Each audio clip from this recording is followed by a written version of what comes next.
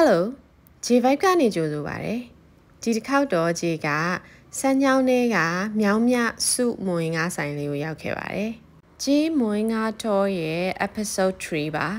သူကစမ်းချောင်းလန်းကစမ်းချောင်းစာရက်ရဲ့အရှိလေးမှာဖွင့်ထားတာပါ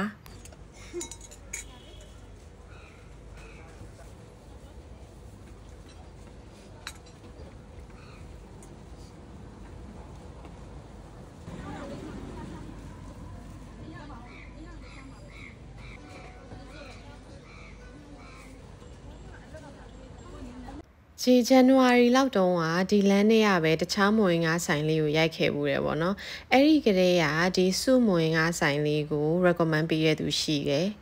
ဟိုတလောတုန်းက J fan group ထဲမှာမေးတော့ကလည်း recommend ပေးရသူလေးရှိတာကြောင့်ရောက်ဖြစ်ခဲ့ပါတယ်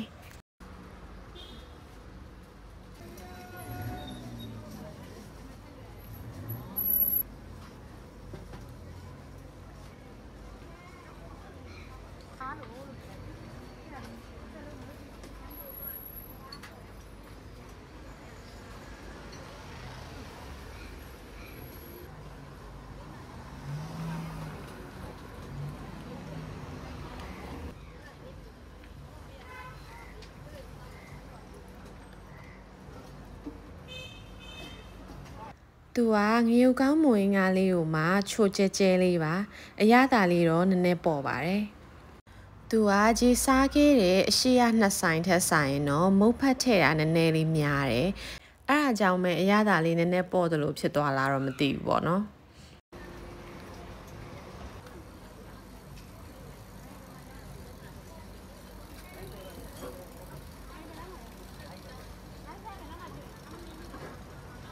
ဆိုင်အားစားဖွင့်တဲ့အချိန်မို့လို့များအရေးလေးနည်းနည်းလေးကျဲနေလားဆိုပြီးတော့ကြည်လဲမေးကြည့်လိုက်တယ်ပေါ့နော်ဆိုင်ကတော့2နာရီစားဖွင့်တာတဲ့ကြည်ရောက်သွားတာတော့3နာရီဝန်းကျင်ပါ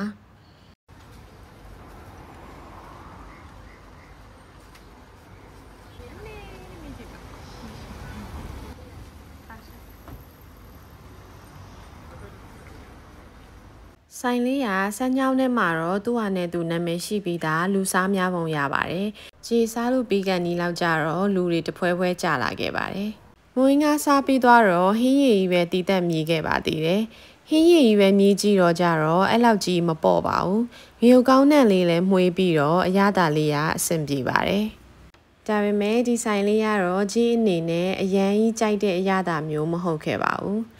ဒါဆိုဒီနေ့ဗီဒီယိုလေးကဒီလောက်ပါပဲနောက် vlog လေးတွေကြမှာထပ်တွေ့ကြမယ်နော်တတား